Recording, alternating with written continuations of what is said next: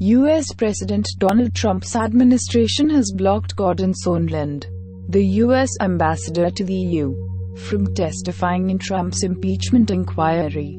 Text messages have shown Sondland and other officials discussing military aid to Ukraine in investigation of the 2016 presidential election. Trump's impeachment inquiry was sparked by his phone call with Ukrainian President Volodymyr Zelensky. Subscribe to the channel for more news.